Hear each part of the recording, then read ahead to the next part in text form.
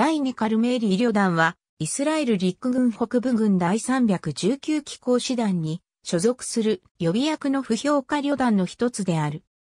イスラエル独立以前のハガナー時代に編成され、第一次中東戦争後に再編されて、現在のイスラエル陸軍常設機構旅団の一つである第188機構旅団の基礎となった。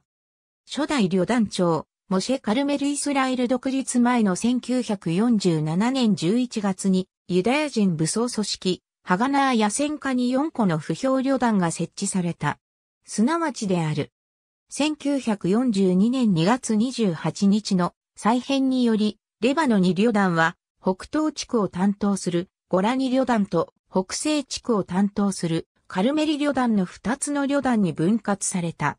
また、この際に旅団番号が与えられ、ゴラニ旅団は第1旅団、カルメリ旅団は第2旅団となった。モシェ・カルメルは引き続き、カルメリ旅団の旅団長となった。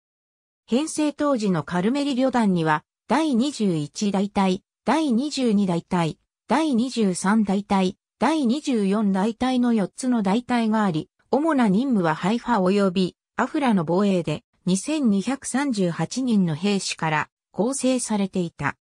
第一次中東戦争中、カルメリ旅団はハイファ港や石油生成所の確保、輸送部隊の防護などに従事し、北部での主要な軍事作戦のすべてに参加した。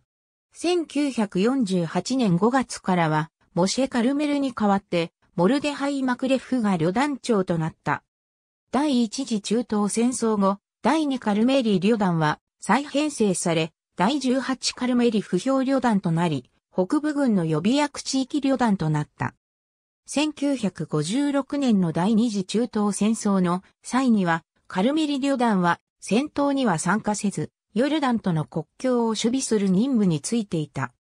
この戦争の後、イスラエル軍は機構部隊の重要性を再認識し、第18旅団の機関組織は機構部隊に再編されることとなり、第45バラク機構旅団となった。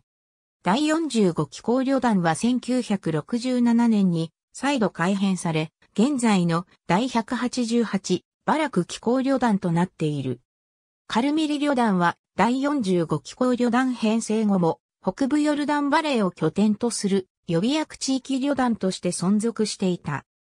1973年の第4次中東戦争では、シリア軍の侵攻を食い止めるために奮戦した第188機構旅団が壊滅状態となり、1974年に大規模な再編を受けたが、この頃にカルメリ旅団も再編されて、第160号カルメリ予備役不評旅団となった。2005年になって、旅団の要員や退役軍人らの要望により、第160号カルメリ旅団は創設当時の旅団番号を持つ第2カルメリ旅団となった。ありがとうございます。